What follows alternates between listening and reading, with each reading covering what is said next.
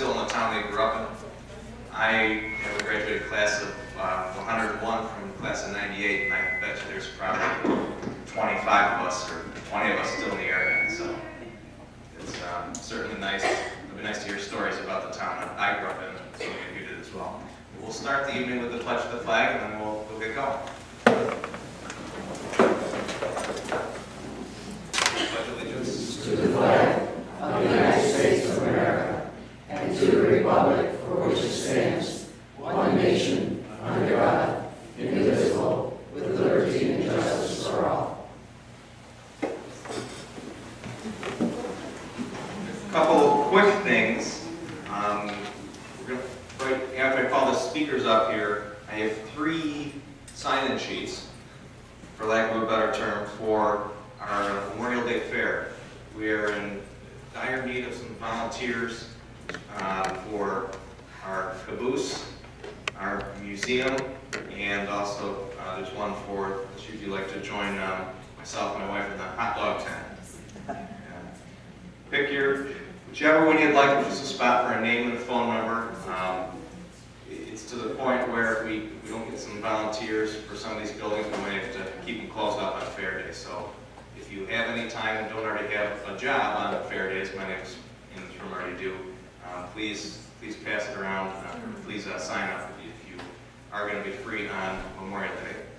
And also back in the corner, Sharon and Julie are back selling quilt tickets for our quilt, which was, made its way back to society, thank you to two of the, of the ladies in this room. So they, we are actually selling our quilt raffle tickets now, and will be drawn in the holiday concert here in December. But if anybody would like books of tickets to take and sell, we would be more than happy to sign those books out to you. We have plenty here. That's why she's selling the tickets, see how good that she wasn't there? And of course, if you'd like to buy them individually, we'll be glad to take your money too. So this idea for tonight's program uh, came up at uh, one of our board of directors meetings uh, several months back, probably November, December time, and it was kind of uh, tossed around. But what would happen if we just got some, some members of the community together just to talk about what it was like to grow up here? And several names were bantered about, and two which kept coming up, and coming up, and coming up, were Charlie Horton and Gary Pettit. And we reached out to, to them, and they were both nice enough to say, we'll do it. So I'd like to call these two gentlemen up, and there's no real format other than I was instructed to try to be like the moderator and keep them on a timeline. No, I'm just kidding, but we'll kind of let it go, and I've thought of a couple questions, and if anyone has any questions, feel free to, to raise your hand or give a shout, and we'll, uh, we'll go from there, but I'll introduce uh, Charlie Horton and then Gary Pettit. Get going, I don't know if you guys want to use the microphone or not. Can you hear me? Yeah. Keep keep it up.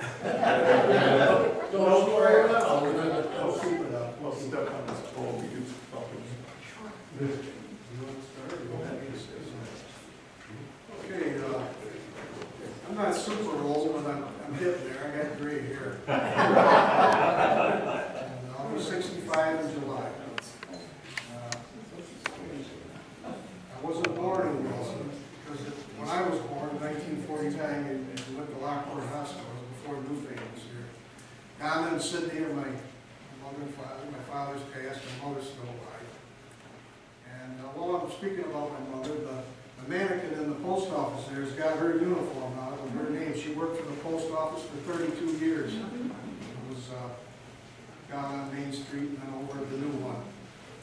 And, uh, One of the the earliest things I can remember when I was a kid, my dad drove a milk truck for Glen Beach. Beach's Dairy used to be right on Lake, or on Lake Street here. And uh, I was a little kid, maybe four or five years old. And uh, Saturdays, he used to take me with it. This wasn't where you delivered the bottles, this is where you picked up the milk cans at the farmers. And uh, those cans full weighed between 98 and 100 pounds, depending on the fat content of the milk. It was hard work. That was a thrill for a little kid to go on these big, huge trucks. I think there were, one of them was an international, and they were green, the cabs were green, and uh, Diamond T something, I don't know. But uh, they had two-speed axles and all that stuff, you know, and uh, there was different routes here in the, in the, in the town, and I mean, there was cows right here in the village. Uh, Currents had cows, and the Duxbury Apartments, there was farm there, they had cows. Used to pull in there, and get the, get the cans, and, uh, and here's a little kid, you know, he's four or five years old, eyes wide open, you know, and, oh my God, you know, and these old farmers that come out, you know, and they poke you or something, you know, they had the bib overalls on, and manure on, and, you know, right out of the barn, you know, and, uh, that, that was quite a thrill for me when I was a kid. And, uh, and the most cans that my dad ever picked up was over at the Carvet Farm on uh, Maple Road. Uh, I think it's the first uh, cobblestone house there, 29 cans at one stop. That was a lot of cans of milk. And they were all, they had the lettering on the cans, and the cans, uh, you put them in, so you took them to the dairy, they went to the falls. There's a lot of dairies out there where they process the stuff after it was loaded. And then you had to bring them back and unload them to the right farmers. A lot of times you had to bring the, he brought the checks back too for the milk farmers. And I can remember some of the farmers complaining that they got cheated and everything else, you know. Some of them send a half a can or something like that, you know. But I can remember all this stuff when I was, a- when I was a little kid. And, uh,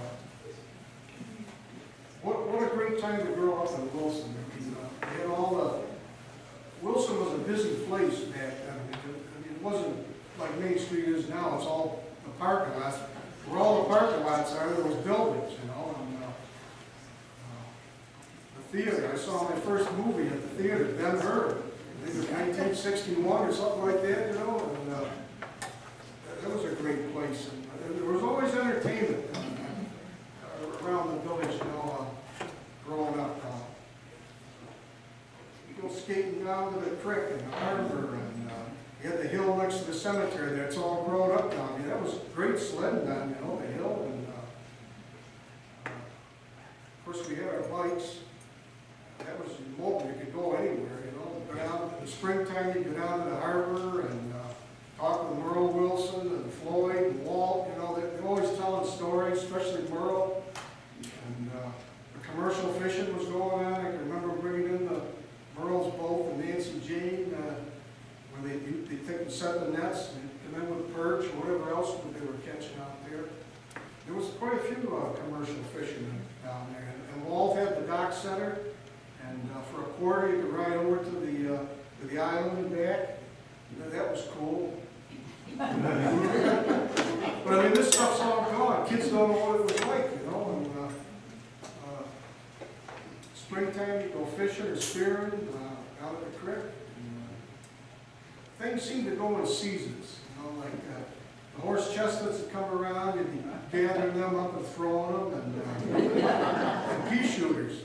There was a season for them too, there was like a plastic tube, and you buy the peas at Debbie's, uh, and White, or other places, and and you had peas all over town. Beans or whatever they were, you know, and, uh, there was just so much going on. Well, and when I went to kindergarten, I went to kindergarten in the high school. Thomas Marks wasn't there, although it's got the new name now, whatever it is now, but, uh, I think kindergarten through third, I went to, uh, a high school. And then they sent us over to Thomas Marks, then you come back for seventh grade uh, at the high school. And, uh, well, fast forward a little bit, and, uh, I was, I was almost twelve years old, and I got a newspaper. My neighbor in my backyard, that was Bob Van Hoosen, he was graduating from high school in nineteen sixty-one, and he had the paper and he was it up. I wasn't quite old enough, you had to be twelve years old, but I got it. I, I lacked about a month, I got it, and, uh, and I started delivering newspapers. And there, there were so many, uh, of the older people that I got to know, and they were all, uh, all great people. And, uh, that's kind of how I know so many different people, especially the older ones in Wilson, the ones, uh, a lot of them are gone, but, uh, was just so many, and there was a lot of uh, old widows at that time. And they always wanted somebody to do something for them, you know, trim the hedge, wash the, they paid you, you know. I had more jobs, and, and I could, a lot of times I could even do, because I had to go to school too, you know. Cutting grass, I mean, jobs, uh, changing, uh, storm windows, these, these were the big old heavy things you had to break down and put the screens on. Was no window, I think the, the older ladies had a circuit or something, because pretty soon I was getting calls from so-and-so, I didn't know what their name was. And, uh, Would you come over and wash my windows, or trim my, cut my grass and stuff like that? And I I look at Marge Williams here, I used to work for her mother, Alice Carter, on Wilcox Street, cutting her grass. Very nice lady, she always treated me good. And I worked for her right up until I started working in the factory. And, uh, Alice Nelson on the corner of uh, Catherine and Pettis Street, and Ruth Meyer, she worked in the post office with my mother, and Harold and Esther Albright, Cindy's here, I jobs for them. Uh, I remember all the people who worked in the post office. Harold Albright was the postmaster, Ruth Myers, Mildred Mudge, mother. And that was when I was on Main Street there. Well, anyway, I'm gonna get to my, my newspaper days. And I brought some of my paraphernalia here from when I was a, a- a young guy. I still got it. And, uh, we used to pick our papers up right in front of the old post office. I don't know, this is this month's uh, issue of the uh, historical uh, magazine, whatever you call it, the newsletter. And uh, the old post office was right next to the hub. This is on the whole hotel here. It was right next to the hub. That's where they dropped them off. There was four paper routes. And I had Gazette. I had one of the bigger ones, 65 papers every day, and on Sunday sometimes it was more or less. And uh, there was four paper routes, and the kids at my, when I was delivering it, was the Upton boys. It seemed like when one Upton re- uh, graduated, was another one to take over. Same with the Wait boys. There was always the the Wait boys. You know. Vern Scrabble had one of the small routes, and, uh, and I had one. But I got the longevity on all of them, because I kept mine for seven years. I kept it from sixty-one until I graduated in nineteen sixty-eight. Wow. And, uh, seven days a week, daily on, Monday through Saturday was the dailies, and on Sunday, you had to get up early and do the Sunday paper. Wednesdays, the paper was like seventy pages big. You had to put inserts in, and, uh, we used to have the, a lot of times I'd take two paper bags and have them crisscrossed, you know, they were heavy. And, uh, this is the wrapping, I even got some of them left. It was wrapped around their papers with and twine. It's got my name on it, and it's, uh, was RTZ forty-five is my number. And they throw them out in front of the post office usually about three thirty in the afternoon. The Sunday papers they bring to your house. And, uh, so, start delivering, and, uh, used to use rubber bands, but rubber bands cost money. And I tried folding today's Union Sun, of course, it isn't the Gazette, and the, the Union Sun has shrunk, so, you know, the paper was that much lighter. You could get a fold in it. You used to be able to fold it when you were riding your bike like this. I got the Buffalo paper here, that's folded pretty good, and you just toss it up on the porch as you went, went down the street. And Some people had little cubby holes where you stuck them in, and, uh, it used to be old milk boxes, when the milkman would put the milk in, you'd stick it in there, and and, and the old ladies, uh, on Fridays and Saturdays, they had to collect. Know, it was sixty cents a week, forty-five for the daily and fifteen cents for the Sunday, you know. They'd leave the money out in a certain spot and they'd get it, you know. Very nice people, these people. I- miss them all. But, uh, this is probably one of the first ones. I got a picture of me in nineteen sixty-two with my cousin with a paper bag. And uh, I was thirteen years old then. And my favorite bike was a J.C. Higgins with balloon tires. They seemed to hold up the best. And uh, we were always making pit stops because you'd have a flat tire. Like today, kid has a flat tire or the, or the chain breaks or falls off, you see it out to the road. And it's gone. We had to fix our stuff. You go up to Horton's Hardware or Russ Sheffler's Hardware and, uh, get a master link for the chain or a tube for the tire or a new tire or whatever, you know, do it ourselves. We had these little kits for pick- putting patches on the tubes, uh, you did it all yourself. And, uh, replacing bearings too. We, we rode the bike so much, we used to wear the bearings out on them. You had to take them apart, put bearings, repack the grease and everything, and, uh, well, anyway, this one here hasn't got as much use as the other one there, because it wasn't too long after I started, they come out with, they put the orange on these so that you wouldn't get hit. They could see it. And, uh, this one's had a lot of use. And, uh, I just wanted to, the holes here, and uh, the holes were from dogs. Because back then, there was no leash law or whatever, it was the dogs ran loose, and paper boys were fair game. And that's what these are. And as I got older, I used my bike and my bag to protect me from getting bit. But some of them got through and they got me in the rump, calf, and in the ankle. I got bit in the fingers one time. But uh, that was part of the hazards of the job, I guess. This was my collection book. This one's from 66, 67. The first one on there is Max Barber Shop. I don't know if anybody remembers Max Barber Shop. What a great guy he was. And uh, I got a lot of the older people in here. I mean, they're just about all gone.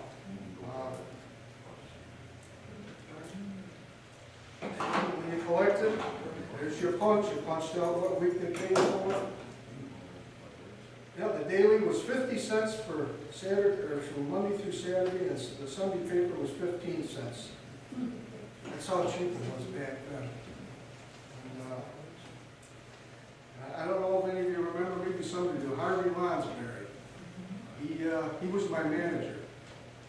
And, uh, he drove a Studebaker. A lot of people drove Studebakers because Bud and Roger Ward, who just passed away, they, they, they sold Studebakers down here on Lake Street. They were, uh, Champ has a shop there now.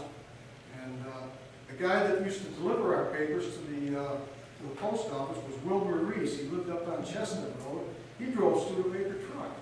So there was a lot of Studebakers. And when we broke our bikes, the pedals got busted off, we used to go over to Elwin Flagler's welding shop next to the doctor's office over there on High Street.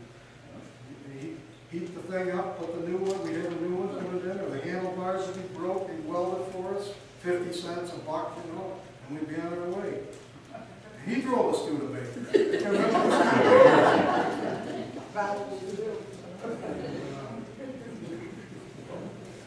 So, I mean, that, that was, uh, and then when I graduated from high school, I mean, you were a businessman, you had to, you had to collect money and, uh, and, uh, and the manager, would be Harvey Lonsberry, would come and, uh, and, uh, and collect, you know, you, fifty, sixty bucks you had to pay for the paper, what was left you got, you know, and, uh, uh, I mean, you had to manage money and do things, there was a lot for a young kid, and it- the older I got, the smarter I got. That. And, uh, There was, there was some people who would take advantage of you, and, uh, the older you got, smarter you got. Well, anyway, when I come around for the last time to collect, know, a lot of the old ladies were in tears, because I was, you know, I was graduating from high school, and, uh, it was time to give it up. Uh, I gave it to, uh, Mike Denny, he only had it, I don't know, not quite a year, and then my brother got it, Rodney, he had it for four or five years. Uh, That was, uh, it was a real time, because there was so much stuff going on in Wilson at that time. Remember, the- that was the hot rod era, like I was saying, there was a lot of entertainment. There was cars burning rubber on Main Street, any time of day or night. And, uh, all them bars, Pepper Martin's, where Jeans is now, I mean, it was just, it was, it was a- wild time, wasn't it, Chuck? It was- it was entertainment. And, uh, I mean, you could sit up at the four corners and just, it was, it was something. That stuff's all gone now. And, uh, Used to buy a pop at the grocery stores, Timke's IGA, cold Pepsi, ten cents, you got two cents if you brought the bottle back. And, uh, candy bar was a nickel, a fudgesicle was a nickel, a nutty buddy was a dime. Just so many things, and my dad was helping me deliver papers on, on Sunday morning. It was in the sixties sometime, and there was a fire. It was uh, Zabel's uh, Vinegar Works over here, right where the parking lot is of the, uh, the brewery. And it- it burned, and uh, you could smell vinegar all over the village of Wilson. It was a Sunday morning, and we went up and we were watching, you know, you could hear the, I don't know what they were, the, must have been the cans or bottles of vinegar blowing up inside, and, uh, it was a big thing that happened, uh, I know, I think I'll let Chuck talk for a while. That was, that was some of the things, then when I graduated, I went, I went to Harrison's to work, and I had to go, I went in the service for four years, and uh, in the US Coast Guard, and uh, I come out, I stayed in the Select Reserve, and then retired from the Select Reserve. And uh, it was quite a time in Wilson. Uh, It was just, the main street, there was just so, when we were waiting there for our papers every afternoon, there was just so much activity. You know, had all the businesses, and they're all gone now. And uh, so many people, and, and all the places had apartments. I used to go up and down the stairs delivering to the people that lived up in the apartments, and uh, above the old Schefflers, and uh,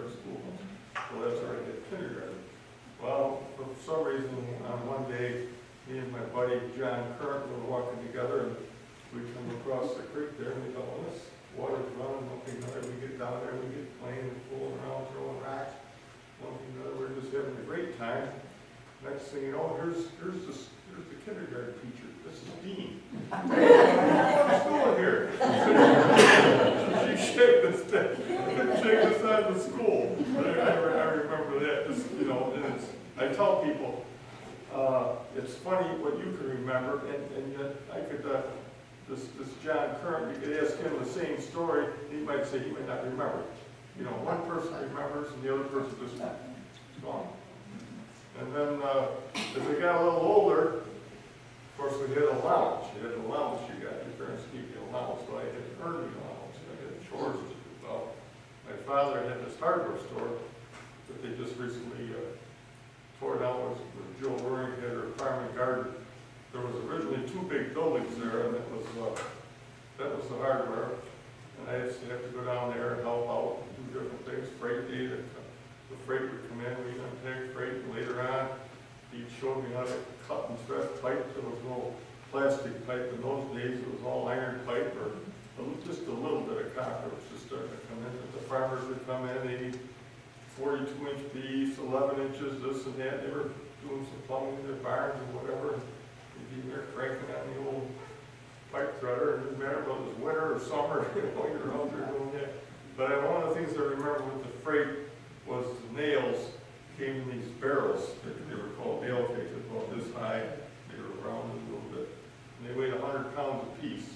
And we had this hand cart, my father showed me how you set them up, get them on the cart, and wheel them into the room, get them in front of the bin, you take a hammer and whack the top out of the keg, pull the wood away, scoop and raking the nails out of it and throwing them in, so you- eventually, so you could get it light enough where you could, you know, pick it up and and throw it in there. And that, that lasted maybe till, I'm guessing maybe the mid to late fifties, maybe 57, 58. uh, they stopped putting the, the nails in kegs, they put them in cardboard boxes. And then they went from hundred, then everything was fifty pounds, which is a little more manageable. But, uh, great memories of the store, the early days, we just had this big, my, of course, when we were this high, everything was bigger, we had this pot belly stove, cover stood this high, big old iron thing. And, uh, come fall, we had, we had it on these rollers, casters, like in the back room. You pull it all the way from the wall, and put the stove blacking on, and polish it all up, wheel her out to the, by the chimney there, put, put the new pipe in, and then when winter set in, we, the old timers, if they walk uptown to get the mail, they'd stop, get warm by the stove, tell a few stories, there was always those cheers around the stove, and, uh, you know, there was, that, that was pre-entertainment, they'd be telling kibitzing, you know, and telling all this stuff. But, uh, then we also had, uh, my father was a fireman, so, uh, not right away, but eventually, there was a, a fire phone in the store. And then if you had a fire, you called, the number was two one one one. And there was, I think, either five or six phones that rang simultaneously. Usually the fire chief had one, I think uh, Kenny Walker's store might have had one. There was one in the firehouse itself, there was one in our store, I forget where the other ones were. And you pick the phone up, and the, the two plungers would lift up, and you could hear and if nobody was talking, there was a plunger, you pull that plunger up and then you would talk and say fireball. And they'd say, oh, you know, fire over on Maple Road, da, da, and they never gave any numbers. There was no numbers back then, they gave a name, you know. So then with that plunger up in the air, there was a little wall switch, a little thumb thing, and you could, you push that up, and the siren would start to crank up. And then you, you had to, and then when it reached a high pitch, you let off on it, would die down, and then you hit it again, and go up and go down. So then as the firemen started to come, you'd run out the door and tell them, it's up to so-and-so's on the whatever rope, you know, way they go.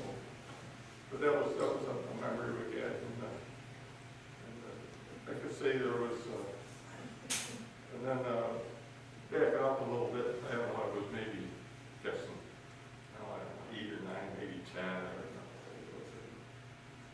Come in the store one day, there's this brand new bicycle, twenty-four inch Rollfast bicycle. My father says, there you go, there's your bike. So, wow, you know, and Gary talking about, and that was the freedom of, of the, the bicycle. Everybody had bicycles, girls, boys, right down to the harbor, right all, right to the school, right all over. There was a bicycle rack at the school, you used to, you could ride your bike to school if you wanted to. And then, uh, the location of Wilson is, uh, kind of unique. It's a small little village on Main Street. That's one facet. Then up here at the depot, it was like the industry with the, vinegar works and the canning factories and, and that type of industry was up here. And then you had the harbor. And you got these, not only you have a harbor, but you have this huge bay and you have two major creeks, the east and west branch of the, of the twelve mile feed into it. It was the best playground in the world. We would go down there, there was paths all along these creek banks where the fishermen used to walk and the kids would play. And I went, went down there about four or five years ago and you could just faintly see where some of these paths were. Because, you know, you know, it's changing times. and We couldn't wait to get out of the house. I remember my father hollering at me, sit down, let your, let your meal digest. Boom, we're at a baseball game, this is going on. And like Gary says, when you're younger, you, you want to go down to the village, because then the older guys, they're racing around with the car, the radios are playing and the, you know, the action, like he says. the- And then later on, they refer to it as cruising. See, you went cruising, you got a car. And I remember doing, it when I got my, my first car, you know, you went to Lockport. Around the block, around the block, around the block. Kids on the corner, howling, radio, blowing the horn, radio playing, tops up, tops down, you know, all this sort of thing, you know. And that was, that was, you know, the great, the great entertainment. But, uh, we used to play behind the school too, with, uh, I remember playing, uh, we, we played, uh, we didn't have any pads or helmet, we had a football. Go up there, you play football, tackle, of course. That they couldn't see. I remember running smack into somebody, you know, everybody's, you all right, you all right, you want to get up, stay stagger home, you know. And mother always was screaming about my jeans, always brass me, you know, of course you can't get that out, you know. And, uh, but it, it it was, it was, uh, it was some great times and nice. And like Gary mentioned, and later, later on, I, uh, I ended up uh, working at the Harrison Radiator. And, uh, and then like, uh, uh, it kind of, once you could get a full-time job, uh, there's a great book written by this gentleman in in Barker, it's, it's it's called, I believe it's called, Being a Boy Was Fun, and he was on, he's describing all these similar things that I'm describing, and he says, basically when you took a job or you got married, and then you stopped being a. The responsibilities. But, uh, going back to Studebakers, my, uh, Kenny Walker, he drove a Studebaker. And, uh, Used to deliver groceries too. yeah, he used, a- he had a station wagon, a red station wagon, he'd have it backed up in front of the store. And flip the window up and the tailgate be down, he'd put the groceries in, and you could call uh, uh, the, the red and white Willard Nevins or, or or Kenny Walker and follow up, put, put your order in. Mm-hmm. And they would bring it to you with no charge. Just you know, well, I'll have it there this afternoon, or whatever, around two or something like that. And they bring it out with no matter what the weather. And then, uh, Willard Nevins ran the red and white store. His father had a little barber shop in the back, a little, uh, little tiny boxy building here, he had a barber shop. Well, uh, I was about maybe eighteen, nineteen at the time, I was up at Don Kerwin pump gas at his gas station. Willard's father, Ray, pulls up in this torpedo-shaped Studebaker. He pulls up in front of the high test pump. I well, he's an old guy, he don't know what he's doing. you. Says, Ray, says, you're, you're at the wrong pump. He looked at me, he says, no, he says, this stuff is bad enough, he says. I always, I always tell that story. By the best, and that's, that's bad enough, that was But, uh, yeah, there, uh, he cut hair, and you mentioned Max Ransom over where, Lakeside Market is, that was where Max's barber shop was. And then over on Catherine Street, where, uh, where Amy, I believe her name was, had a beauty shop there, that was Jack Perry's old barber shop. So we had three barbers in town. That was another show, you know, go get your hair cut, there would be people in there, and, uh, kibitzing and stories and lies and everything being told. Agitating, you know, trying to get somebody to know. And then gas stations, you know, they, uh, you know, they had, uh, the little village had, uh, Kerwin's, they had uh, Ralph Truesdale's, they had Don Lord's, they had, uh, the Nelson, Mr. Nelson's place, they had, uh, uh, and then later they had, uh, where Manny's Pizza was, that was a Esso station. And then, so- And Ward, Ward Brothers, they sold gas, so just a little village alone, you know, you say, well, now, now we got one place, we got gas. But, And they used to pump it. oh yeah, yeah, you couldn't touch the pump. You'd, you'd go over the rubber hose, and she'd go da-ding, da-ding, and then back come up, do your windshield and all that stuff. Yeah, they, they, want- they want to do your windshield, yes, you want to check your oil.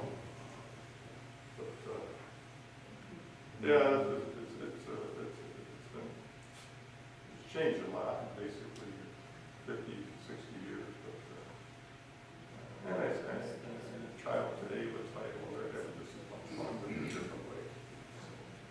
But, uh, yeah, a lot of, but the big thing was everybody, and the, and and the hardware store, the farmers would come in, and they, yeah, put that on my bill, they charge it, some would pay, and we get, uh, uh, like the industry, like the canning companies, they were gonna try to school and whatnot. You know, it was- there was hardly anybody you didn't know. And, and, and of course, they were all, being young, the old guys are coming, they gotta give you a little hard time, you know. But, uh, then, uh, there's a benefit too, was back, going back to when my father, I can remember he had the, the old pot belly stove lay around, we had, we put in a oil fired uh, furnace to heat the store. But When we had the old pot belly, there was a bunch of them there, it was around Christmas time, like the old boys in there. And they, tried- they were having a little, uh, refreshments and, uh, you know, uh, I can't remember exactly the guy's name, now, he comes to me eventually, we should remember what he calls. But he says to me, he says, uh, he says, uh, go, go pick something out that you like in the store. He says, "Go pick something out, he says, and I'll buy it for you. So there was this big sled. They parked this big sled, probably cost maybe five dollars, which would probably maybe like fifty a day or something. Yeah. He says, you like that sled? Oh, I do. He says, Bob, he says, here's the money. Boom, he handed him the money. I was thinking, you know, just out of generosity, you know, type of thing to do. And so, but you know, it goes around too. So I've done things similar to people, you know. You, you, you, can't pay the person back, you have to pass it on to somebody else who's moving on. And we used to play, I say, the kids would play up near the railroad track and these creeks, oh my God. And then later on, some of the guys had motor boats, and I remember the one guy used to have a motor, so we, he'd take the motor and we'd run a rowboat, one of the Wilson brothers, you know, and go down. And they, and those guys, those Wilson brothers and, and, and their, and their cousin Merle, we were, must have been like family to them, they were always telling us stories and, and, you know, they were so friendly, it was unbelievable. Later on, I, I was, uh, a cute story about the island. Well, well, they used to have dances on the island. I know with Gary for one, but they used to have dances on the island.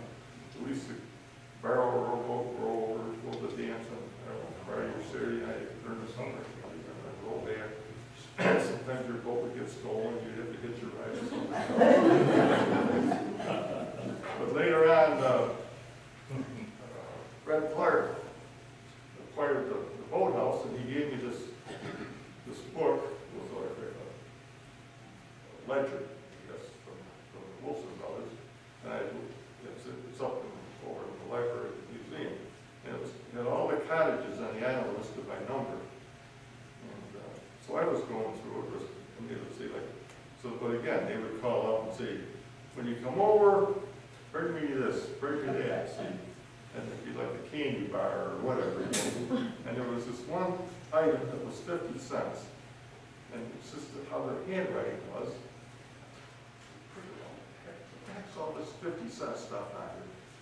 It was like a line and, and it looked like a C and a D. Finally it dawned on me, you could tell me it was ice.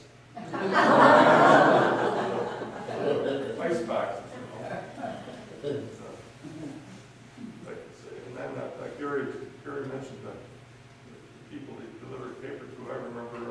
Bob Kramer, the plumber, he come to the hardware store, and he had an account there, Bob had an account, charge, charge things. Said, I remember he had a yellow Ford pickup truck, the one was fifty-five or six or something like that. Lived up the beach, he'd come in, Also went to the island with a boat. yeah, they went over, yeah, well, they all did, yeah. You had to go over the work place. But, uh, those are some of the, some of the stories that we have, so.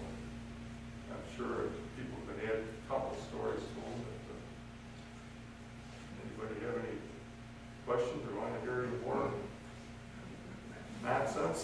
to hear any more nonsense? Our driver red car in nineteen sixty-four was a Studebaker Oh, here in town, yep.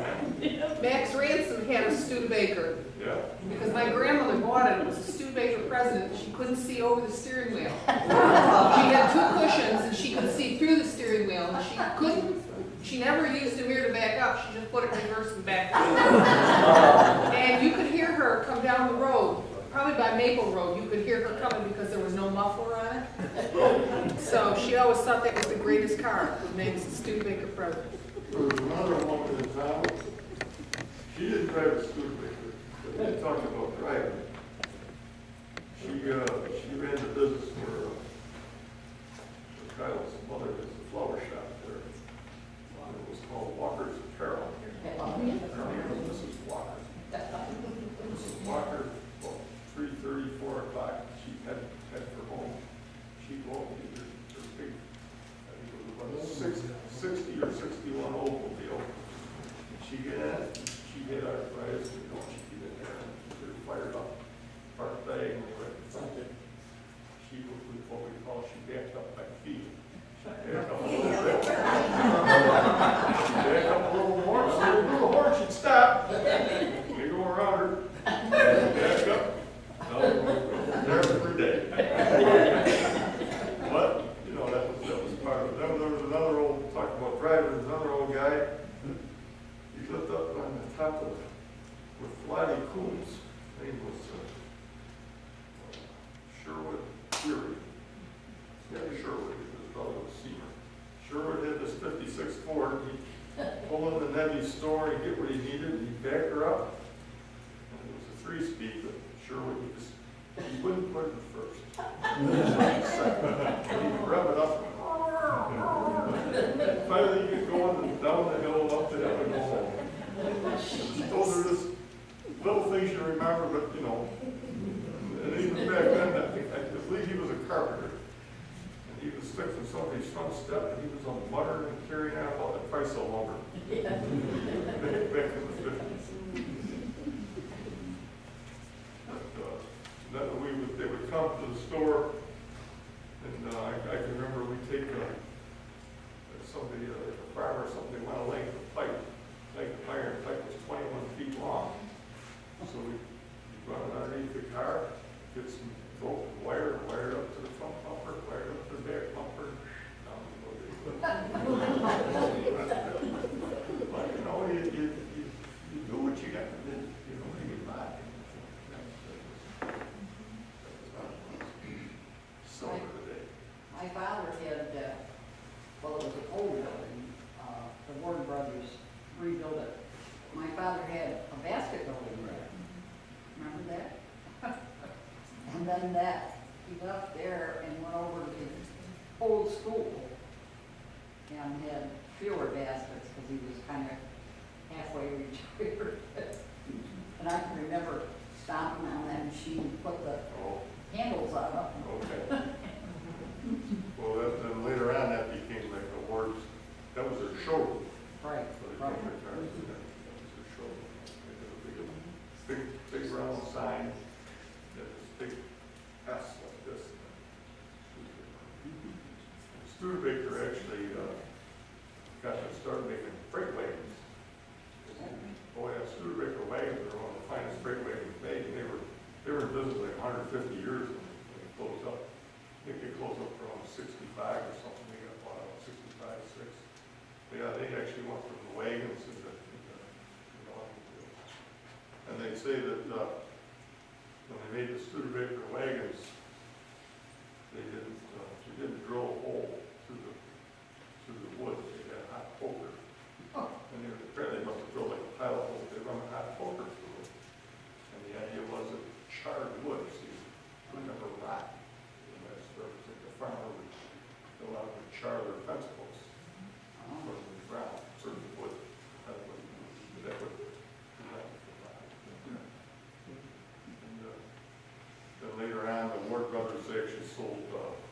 Chevrolets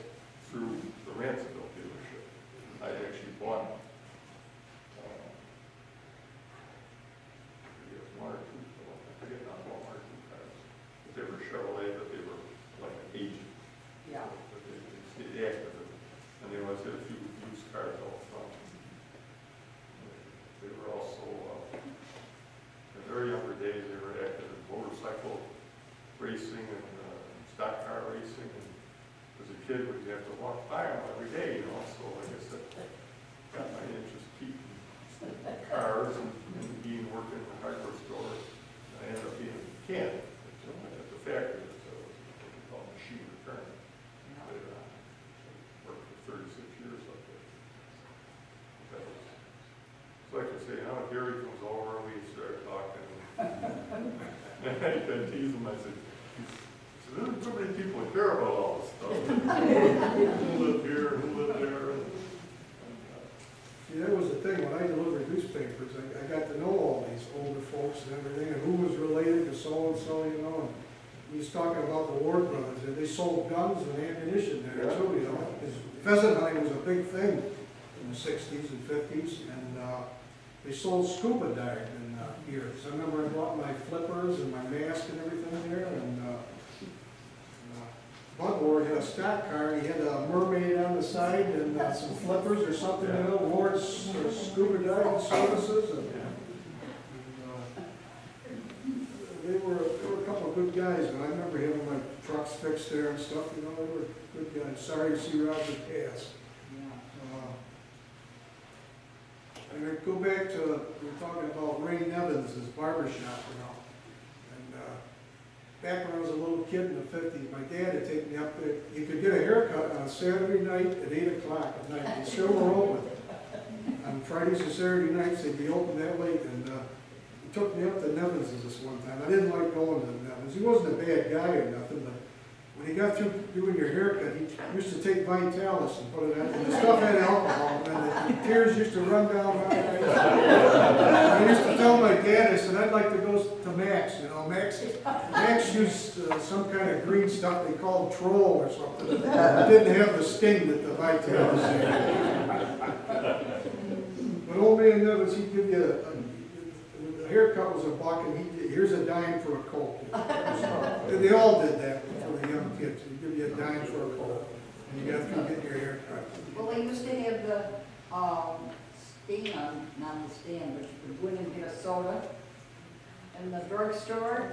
Yeah, there's Yeah, soda, hot soda, dogs. bar, soda bar. Yeah, yeah, yeah. We used to go down there for lunch. Yeah.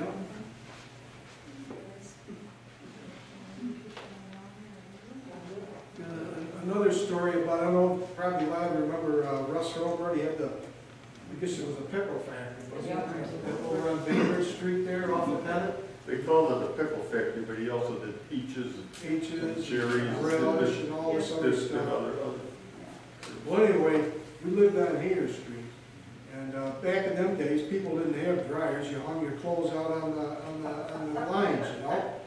And, uh, I don't know what, when the shift started over there, They- they worked nights too, I know, over there, but they used to stoke up the boilers, they, they used soft coal. Well, Pretty soon, the sky would be full of this black smoke coming out of the, and if you had anything whiter out on the lines, all the women would run and grab everything off because you get this black soot out of it from the pickle factory. And, uh, Yeah, that damn pickle factory's firing up, I remember hearing that many a time. Not only that, but when they did that, they clean out the lines and the rats would come flying. Rats, I didn't know about the rats. Oh, yeah. They Put a used, couple in our pool one time. they used to do peaches there, and they keep the, the peaches they kept over here for the breweries and the cold stores, see? So when they, they start doing peaches in the fall, they, they have all these farm trailers, and they get, uh, Oliver farm tractors, and they had two or three of them, and they'd go, they'd be always going down back and forth to the cannery. So we were kids, you know, we ride the bicycle, of course, they're going along kind of slow, we were driving, and we come up behind, reach in there and steal a peach, you know? Well, that was okay, they took a bite out of it, they were hard as a rock. But that was what they had to do, they had to pick them green like that, and then of course they cook them, they soften them up, you know? And I remember them old tractors, they, of course, they didn't want to spend no money on nothing. And the tubes were actually coming right through the tire. And pretty soon you hear a big bang. And they bring peas to the other cannery up here behind where Steve, or, uh, Clark there, what's his name, uh, David, no, no, John. John, or John Clark, got that place now, and the Wilson Canning, they take peas, these trucks with sides on vines to be hanging, just dragging on the road. And we try to place it along.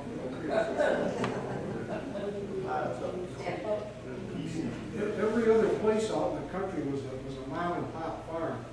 And they usually had some cows and, you know, a little orchard or something, you know, and, uh, and it was nothing to see a, a a tractor and a trailer, you know, an open trailer, like a hay trailer, going down Main Street in Wilson with hampers of tomatoes piled up, going up to the, to the canning factory, Kurt's canning Well, factory. and over here. Yeah, over there too. Yeah, They stack them up like a pyramid. Yeah. They did peas over there, they did uh, sour cherries, used to get them in a five gallon, uh, gold colored can. Yeah. Yeah, And uh, the peas, you could go right up and get them. yeah, A lot of people worked there too, I mean, it was jobs. sure. And, uh, I can remember uh, when O'Connor's had that uh, farm over there, had seven silos or something over there, uh, Yeah, sure, Ransomville. Dry alfalfa. Yeah, they, they, Didn't he burn used to see the big trucks of alfalfa going through town. They made pellets or something over there. Like I said, every other place was a mom and pop farm, everybody farmed. Well, you also you had, like he says, there's all these individual farmers. And now there's probably more land tilled and more crops taken off the acreage, but owned by just a handful of people.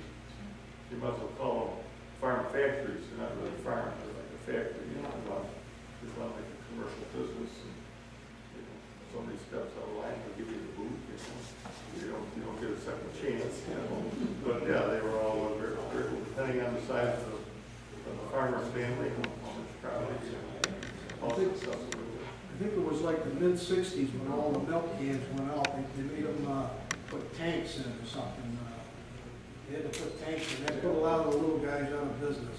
Yeah, Yeah, They couldn't afford the price Couldn't of afford the the price of a tank, a bulk tank, whole, the whole thing. yeah, holding tank. But, uh, Nobody, you never heard of anybody getting sick, sick, drinking raw milk from a cow, never. the farmer the milk and straight the free People used to go out and buy it fresh, you know, right off the cow, you know, I mean, I don't think there's a, there's a, anybody milking the cows in the, in the town. just the factory farm. Well, yeah, but, uh, I can remember growing up when I was a kid, milk tastes different too. uh, Yeah, Especially the milkshakes, that were brownies, it used to be Abby's and, uh, you could get a milkshake for thirty cents, you know, and I think it's three dollars or something now, but, uh, they were delicious, you know, because I guess it's because of the milk fat or something, you know. They tasted altogether different. yeah. Same with the pop. Pepsi-Cola or Coca-Cola, it had more uh, carbonation or something, it, uh, it was a different taste. I can explain that. Yeah, okay, go ahead. Having worked in a factory where we dealt with such things, Yeah. the thing is, each bottling plant put aside the ratio of corn sugar to regular sugar. Yeah. At the time, corn sugar was a lot cheaper, so they changed the original formula to being mostly sugar to being mostly corn sugar. Now, in the book, corn sugar and regular sugar have the same Brix, the same degree of sweetness. The taste is totally different. Right, So when they put more of the corn sugar in there, it radically changed the flavor of the pop. okay. It makes sense. They used to have these, uh, these Coca-Cola machines, they weren't too, too big, they were round and on top, making them in front of the gas stations. A Bottle of Coke, I think it was six or seven ounces of, the little Coke bottle. The green one. Yeah, five cents, see. So then, they were having some problems with people bringing the bottles back, so they raised the price to six cents. Well, they were never, they were gonna go broke, everybody said, they can't charge. How, how, nuts? But then, then went to a dime, and they now you gotta put almost a twenty dollar bill, I guess.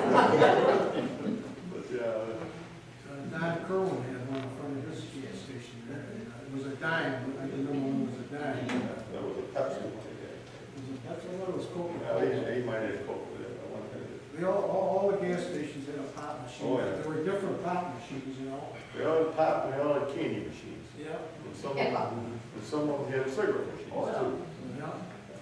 And, uh, When we got a little bit older, we used to hang around Earl Truesdale's gas station and, uh, and, uh, he always had a euchre game going in there. And, uh, they'd have uh, a bunch of tires set up, you know, so high, and they had, they had a board on there, that was playing euchre, you know. There was always a crowd in there playing euchre, you know, quarter, quarter, half, you know, and, uh, and and Ralph was quite a character. uh, He always had the, uh, he just passed away here last year, at the end of last year.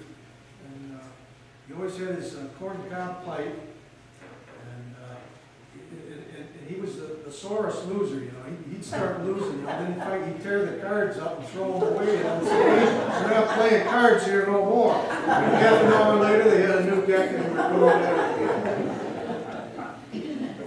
And when the, when the fire whistle would blow, and- and during the day, Ralph would run, would run out of the station and stand underneath the stoplight.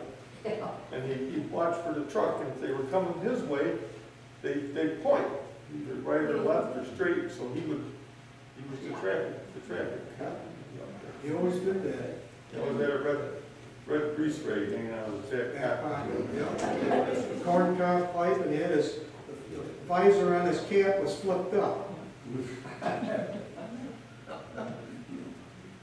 Some of the old timers. And Kenny Walker, he always had a, a- an apron on. He was a grocer. Well, they, they sold meat in there. Yeah. yeah. He had a potbelly stove in there too in that store. You could go in, you could buy one cookie. They had these big cookies like an Oreo, but they were bigger, you know, you could, they had a little, pull out, you could get one cookie. And then he had the dry goods section there, uh, Vera Pease worked in there.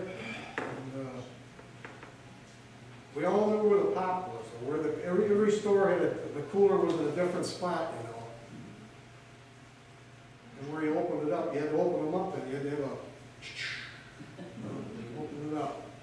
Did they have an opener, yeah? Yeah, you had to have an opener. They give you, if I None of this screw-on stuff. get a free opener, you were asked for one, they give you Yeah. one. When I was real young, my father said one day, he said, bring your wagon down to the store. He says, so I pulled my wagon down the stairs. He says, take all them pop and beer bottles. He says, take them over to, over to Nevy's store. He says, he says, no, don't let him give you any money because he never charged me anything when I go deposit. See, he never charged me deposit. So I take this big load over and he'd say, you know where they go, don't you? Yeah, yeah, well, I pull them, stick them in the cases, you know. You count them, he'd say, you, I don't know how many are in there. All right. Okay.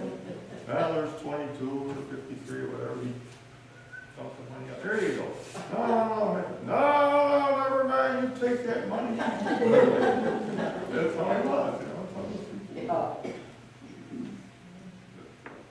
Great, great memories. and, Oh, uh, yeah.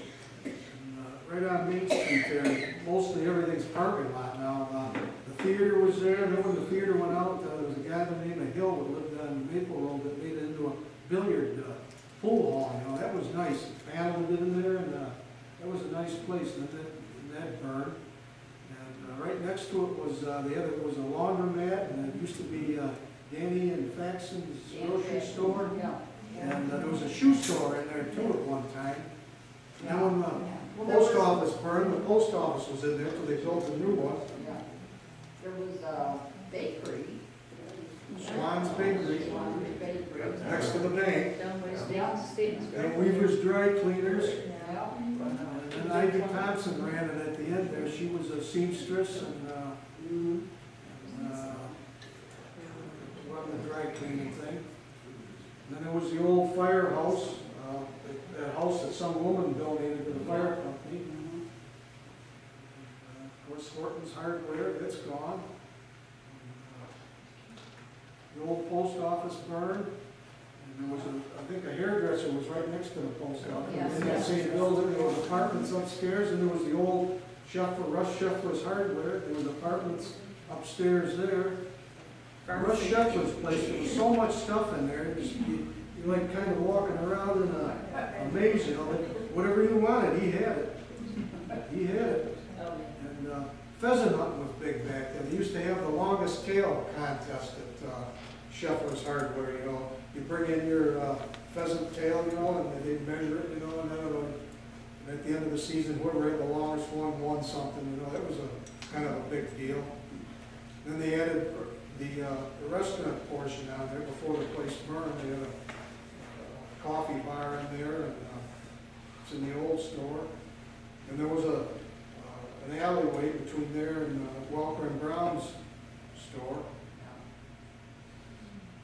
And there was a place next to, oh, there was Pedal Electric there. He sold General Electric uh, uh, appliances and Sherwin-Williams paint.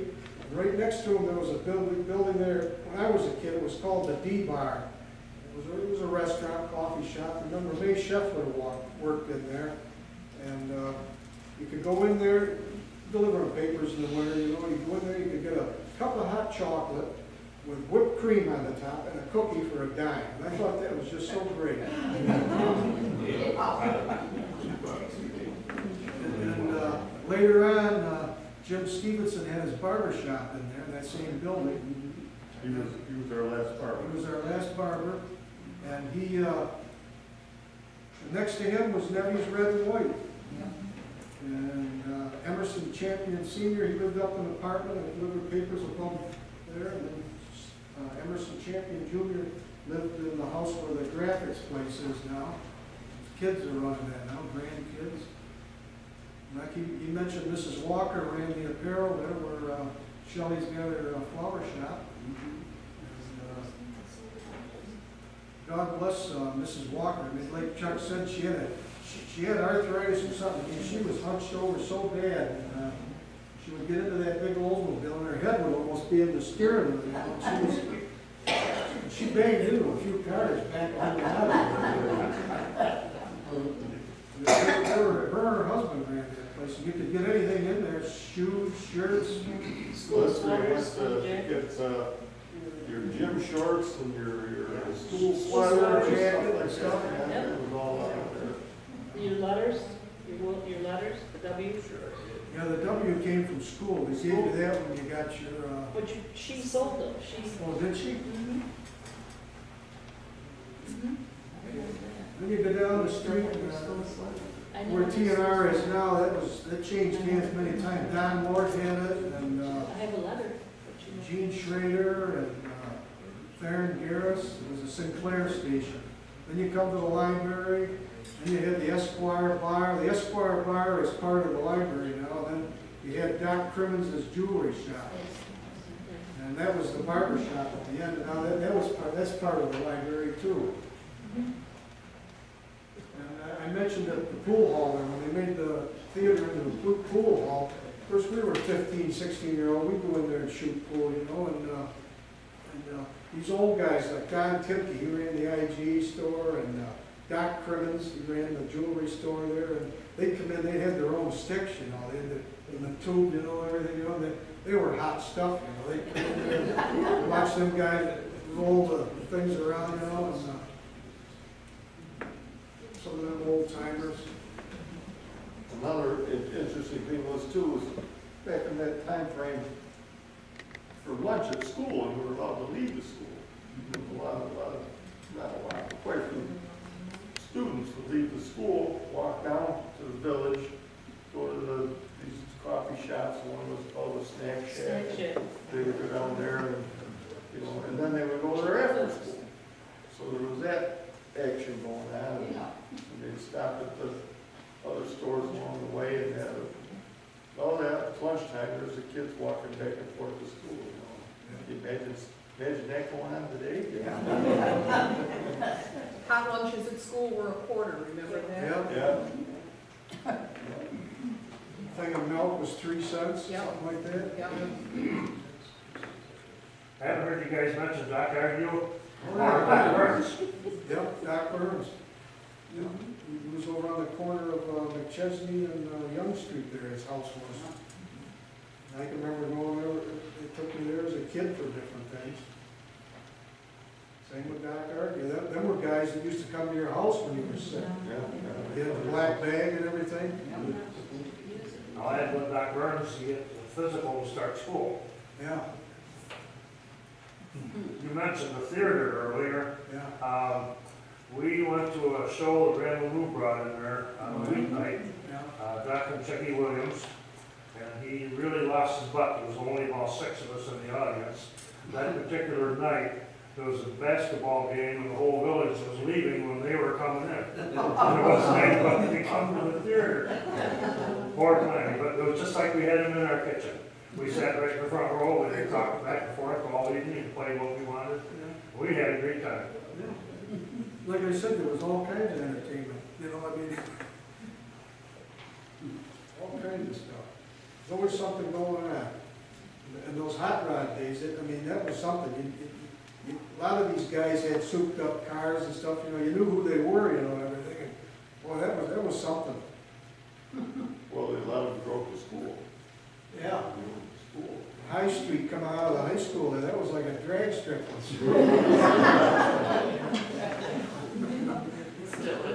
It was, it was something, there, because they, they'd be burning rubber right out of the- the school parking lot.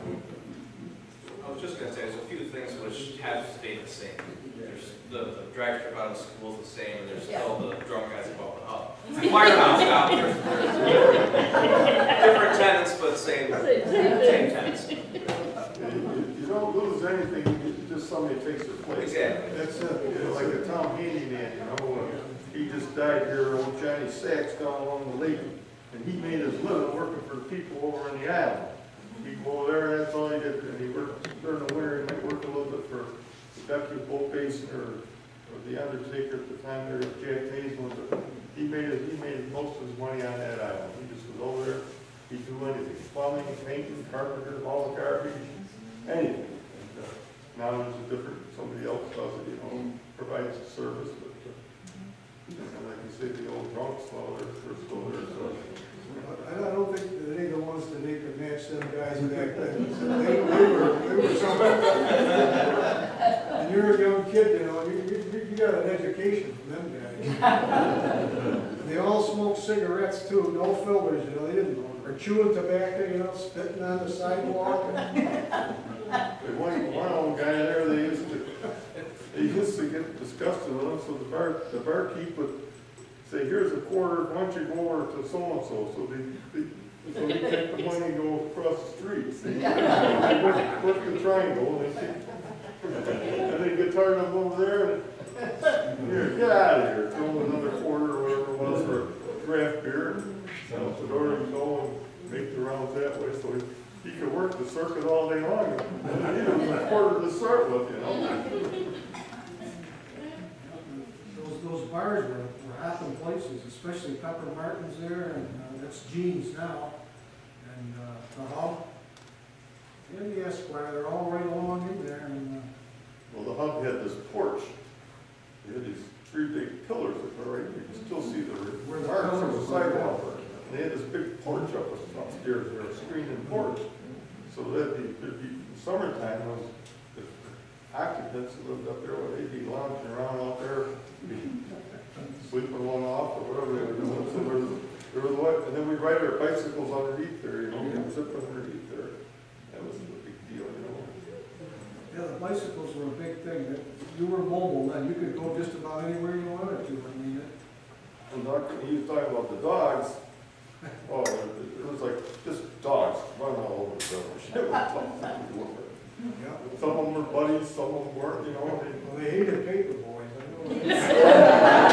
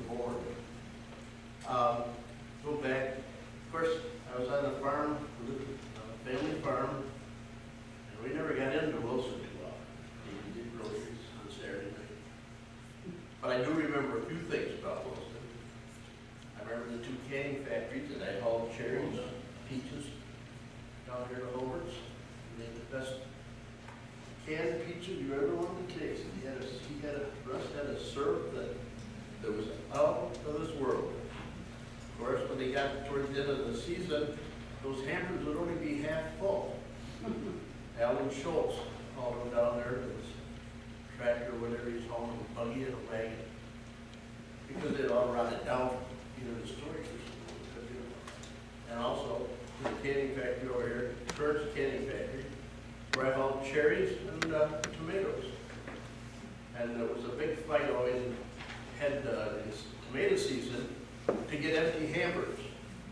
So my dad got the bright idea that we would load up the fifty Chevy truck, two hundred and seventy-five hampers, and I would leave out about seven o'clock at night.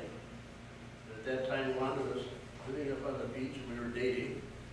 I'd pull up there with a load of tomatoes. And I'd stay there at the house until her mother kicked me out. And then I'd come back down to Wilson to the canning factory, be first on the scales. I had my thermos of coffee, a peanut butter sandwich, and a a blanket. And I'd take a little nap there overnight. You'd hear the trucks come in about four, four-thirty in the morning.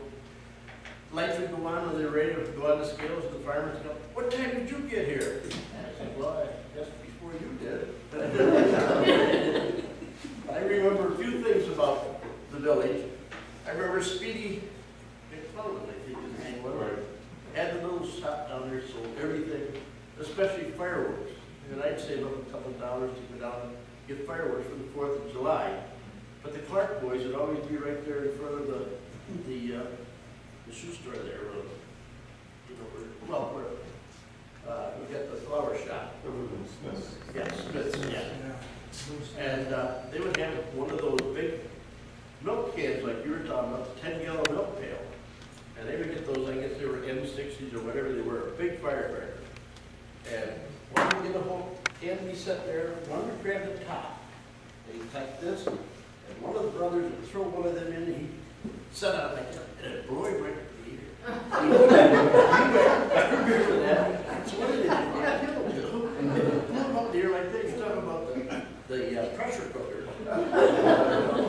Um, But that was, that was about, uh, yeah, and I hauled many a load of apples over here to, say, uh, say, uh, uh, Ciderville. But, uh, I do remember back, part of the World War II, I remember listening to the radio, so we had then, Captain Midnight and some of the others, and I think it was Captain Midnight had a ring that you could buy for a quarter, and a seal off from a Aldi Ovaltine, sir, uh, mix, chocolate mix. And you sent away for this ring. And this ring had. Decoder ring, Pardon? decoder ring. Yeah, they had the decoder ring, but also we had, I got one that had the, uh, all, you put it, was a ring you put on your finger. And it had several little things you pulled up, they had all different sized holes in them. And they give you pictures of airplanes. Well, you could hold that up so far, and if that airplane was in that one circle, it was so many miles away. And then for, the, you know, the other ring, a bigger ring, and you got it all in there, then it would be closer. But I do remember the uh, P-39s coming down on the lake, and they had a big uh, target out there, floating target, and they would come down from Bell Aero Systems, a new plane, with a test pilot, and he would try out his cannon, boom, boom, boom, and then they go brr, brr. There's quite a few planes left out there in Lake Ontario that never went back to Niagara Falls. I also do remember the air raid warden's job, when we had air raids. when it's gonna be, always be after dark, and all of a sudden, the Wilson Fire Company would blow their siren, do fade, everyone, all, had- all that had all their sirens, they all blow at once. You had to have complete darkness in your house. They were afraid they were coming over to bomb us. So Russell Stage, he was the air raid warden in our area. And he had his old Oldsmobile, and they gave him a s- uh, hat, or I guess it was a helmet, and a flashlight, and a, and a billy club. And he'd get all dressed up, he'd get in that car, and then he had these, uh, canvas-made covers with a slit in them, and he put them over the headlights of his car. And that way it would just shine a little light so he could see on the road where he was going. Well, we had all the lights off in the house, and the only thing he had then was a radio. We had one of the big round top radios that had a little dial with a little light. Uh, That's light in the candle. My dad would make us cover that up so he wouldn't see it. I can't even see it in the house, you know? But anyway, he'd go down Beebe Road, North Beebe Road, down to Wilson-Burt Road, down Wilson-Burt Road, up Chattagy, Maple now, down Lake Road, and back up Beebe Road. And oh, he thought he was hot stuff, but he was air raid warden, you know, he was, boy, he'd arrest you. One night, he couldn't find those blinkers he put on the headlights. So he went out of the road, turned the headlights on and off, so he could see where he was going. Somebody turned it in. He lost his, he lost his job. We go all night, as it goes, we talk about old times. But you know, you talk about the school you're talking about. When I went to first grade, my mother, I rode with my sister on the bus, and put me on the bus, and walked in the front door of the school, right here in the main one, that was way before Thomas Park. And my sister says to me, now you go down the hall to the very end, and you go in that room. Okay, That's what I did. My mother didn't take me. I didn't visit the school a week or two before. I was like a big group, you know. And then from there, we went from there over to, uh, well, we also had school in the old school, which is the town hall now. And I had ag classes over there. And, uh, ag, Elway was our first teacher. That's where I got the love of welding, so I do a little bit of that on the side now.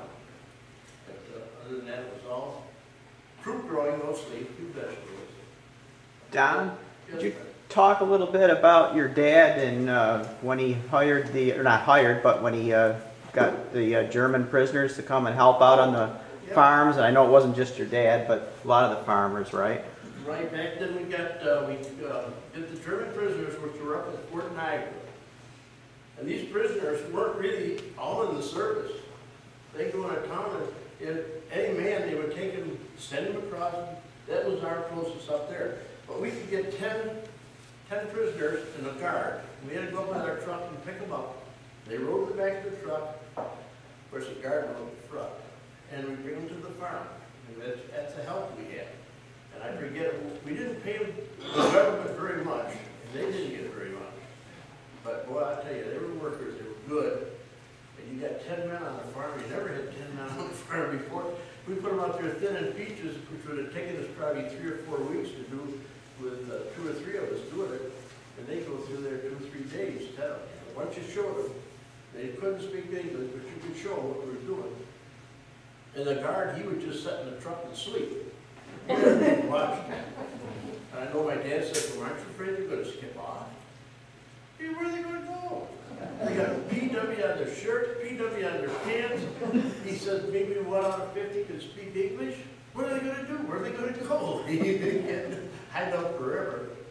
But we did bust them up. We'd, uh, Mr. Gabby, he owned the farm that I live in now. The Farm I got there now. And we split them up. And, uh, because he couldn't take all ten at once. And the guard, he'd spend a few hours maybe in the truck at our place, and a few hours again. And then for lunch, I don't know what they had for breakfast or supper, but for lunch they brought dried sandwiches, no butter, no mustard, and maybe a piece of bologna in between pieces of bread, which are hard because they never wrapped them. and cold tea. And my mother felt sorry for him. One day, and she didn't trust him either. So one day she told my dad when he came up at lunchtime, she says, tell them to come around to the kitchen window. So he, Mr. Cooper would come around the kitchen window, and here she had made chicken, uh, chicken biscuit. And it was hot, and she handed them this chicken and biscuit out the window. And you should have seen those guys working the rest the day, and they all, they wanted to come back the next day, they'd be right out there waiting for her. But, uh, she did that several times, and they really appreciated it. Whatever happened to them, they got sent back, well, except for the one, what was that one, Francis, that did the paintings up at the fort, when that was a prisoner, wasn't it? Uh, I, I'm not sure about that. Yes, I think did, but he did painting before, so he painted the They murals on the wall. They have these murals up there at the, at the officers club. I, I don't know the They name. And they recently restored them. Yeah. And they got in contact with them. That's right. And then they had a- like a ceremony where they, they, That's right. yeah, they, they were, they were, you know, if you were a prisoner at the end of the war, it take a little time, but yeah, you would, you would get some, and the same with the American prisoners that were still, still in captivity, you know, they would have what they call the prisoner exchange. Mine just moved it over to right. You mentioned Steve McCollum. Well, my uncle, he was around when my, my father, and my uncle were kids. And he had one of the first radios in town. And were, they were all these guys that picked the newspaper out and they like to play the horses. Oh, And uh, Speedy had the results because he had the radio. They somebody got the last minute. He take the money even though they know they were gonna lose. That's, maybe that's why he got his name Speedy, I don't know. And then, uh,